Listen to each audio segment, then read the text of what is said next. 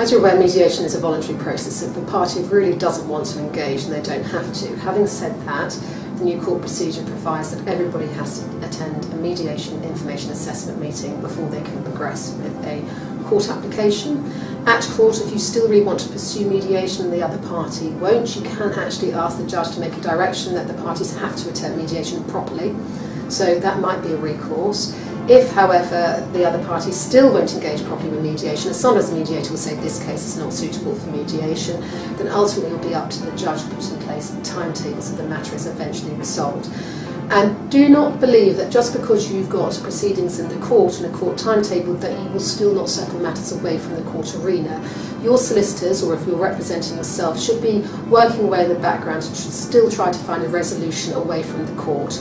In fact, courts really like it if you turn up with an agreement on the day of a hearing or before a hearing and ask them to approve it. So don't believe that just because there is court proceedings in place that you will not resolve matters. There is a lot of people actually find the pressure of going to court to be a lot more traumatic and stressful than they realise and are very keen to settle when they get to court or before it.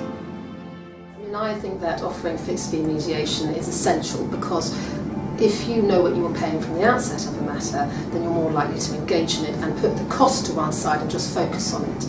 It is important so that people know that their legal costs are not going to get out of control, and it's also important because then it generally gives a structure to how many sessions you need in which to resolve matters, and it explains that as you go through it, the issues tend to sort of eventually come to a conclusion. But I do think it's very important that people have a clear understanding of the cost from the outset.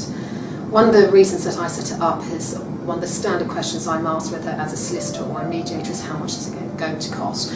Now, when you are engaged as a solicitor, that's much harder to answer because it depends on how the case develops. If people reach agreement very quickly, your costs are going to be a lot less. If it goes all the way to contested final hearings, it could be in the thousands. With mediation, I want to be able to actually give a very clear indication from the outset what it was going to cost.